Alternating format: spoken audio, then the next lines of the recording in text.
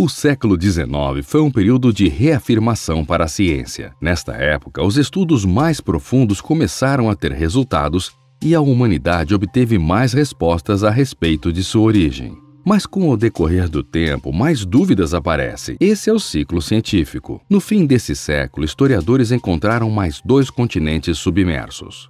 O nome de um deles é Lemúria, considerado por muitos como o paraíso perdido, assim como Atlântida, que dispõe de uma história mais conhecida. Historiadores, biólogos, geólogos, dentre outros especialistas, fazem especulações sobre a existência ou não desta terra perdida, analisando alguns fatos. Então confira no vídeo de hoje Lemúria, o continente perdido. Mas antes de conferir, inscreva-se no canal e ative o sininho de notificações para que você não perca nenhum vídeo.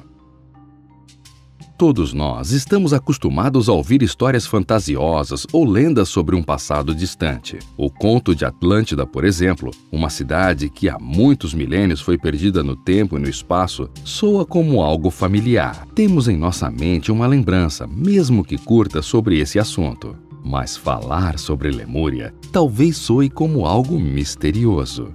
Seria bem mais simples descobrir a verdade se tivéssemos à nossa disposição uma máquina do tempo que nos levasse milhares de anos ao passado. Mas como esse tipo de recurso ainda não está disponível, recorremos à prova científica sobre a existência ou não desse continente submerso.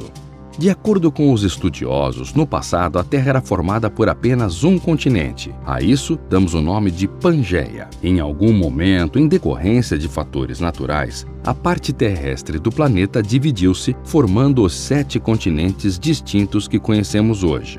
Mas talvez estas sete porções de terra não fossem tudo o que existia.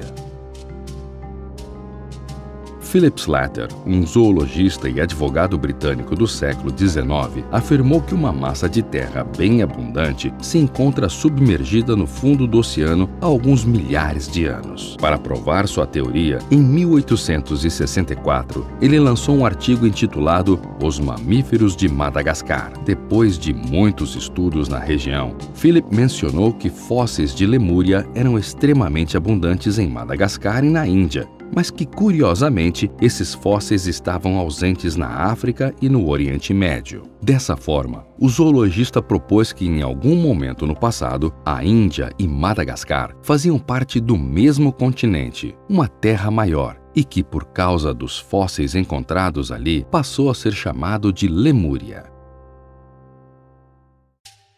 A ideia de que um enorme continente existia entre a Índia e Madagascar também foi confirmada por Ernest Haeckel, um importante biólogo alemão que também viveu no século XIX. Vários itens da cultura asiática já foram encontrados em solo africano, mostrando que eles mantinham relações comerciais. E para Haeckel, era impossível que fizessem isso pela água, pois os barcos só foram inventados milhares de anos depois. Por isso, o biólogo concluiu que uma porção de terra continental unia a região Assim, os humanos que saíam da Ásia poderiam se mover de um lugar para outro sem maiores problemas.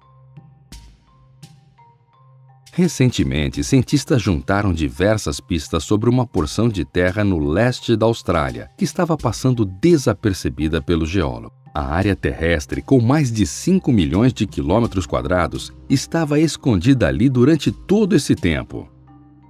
Mas como os cientistas sabem que tem algo ali se está no fundo do oceano? Na superfície, conseguimos ver algumas ilhas que formam a Nova Zelândia e a Nova Caledônia. Para os estudiosos, isso é apenas 5% de algo bem maior.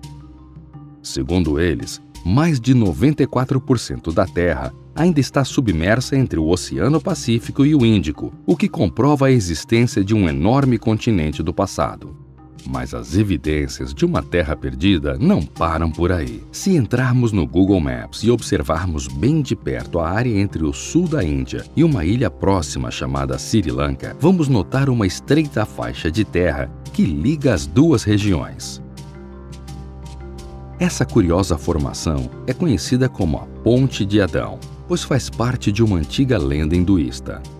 Mas antes de falar sobre a lenda, vamos entender por que a ponte é uma prova clara da existência de Lemúria, o continente perdido. Há muito tempo, esses bancos de areia que dividem as duas regiões vêm sendo estudados, mas nenhuma conclusão definitiva foi tomada. A Ponte de Adão é considerada por alguns como a superfície de uma antiga construção, talvez a primeira ponte criada por humanos na história. Mas há aqueles que discordam e afirmam que não passa de uma formação arenosa desenvolvida pela natureza ao longo do tempo, o que é mais fácil de acreditar. Recentemente, um satélite da NASA sobrevoou a área e as imagens divulgadas comprovam a hipótese de que ela pode mesmo ter sido feita por alguém.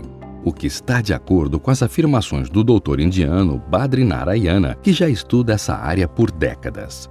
Podemos perceber que se trata de uma área vasta de terra com mais de 35 quilômetros de comprimento e que é dividida em várias partes pela água que escorre sobre sua superfície sólida. Para aqueles que concordam com a ideia da ponte ser artificial, a construção foi feita com vários tipos de rochas diferentes, uma sobreposta à outra. Com o passar dos anos, a areia em volta acumulou-se na estrutura, que foi ganhando a forma de uma faixa de terra totalmente natural. Algo que confirma isso é o fato de que a ponte localiza-se em uma área onde a maré costuma ser mais baixa, o que torna mais realista a ideia de que a areia teria se acumulado na ponte artificial de pedras. Além de todos esses fatos, rochas cortadas foram encontradas próximas à ponte de Adão, como se tivessem soltado dela. Depois de um estudo mais complexo, biólogos descobriram que essas pedras têm mais ou menos uns 7 mil anos, o que é muito estranho visto que a areia embaixo delas data de apenas 4 mil anos. Isso reforça ainda mais a proposta que a imagem vista pelo satélite da NASA não é natural, mas foi feita por seres humanos em algum momento da história.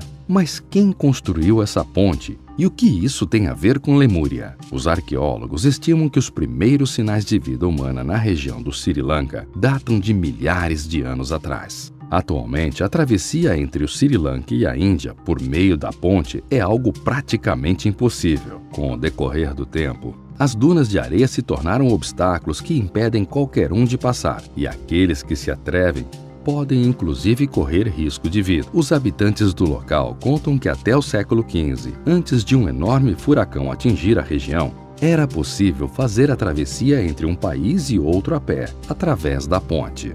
Além disso, a existência da Ponte de Adão se aproxima muito de uma lenda contada pelo povo hinduísta. Coincidentemente, o Ramayana, um antigo texto hindu, faz menção a uma ponte que teria sido construída durante um período chamado Tetra Yuga, que, segundo eles, aconteceu há mais de 1,7 milhões de anos atrás. O Ramayana conta a história de Rama, que é basicamente um deus na cultura hindu. A esposa dele, chamada Sita, foi sequestrada por um rei demônio de dez cabeças chamado Ravana, que, segundo a lenda, vive na ilha de Sri Lanka.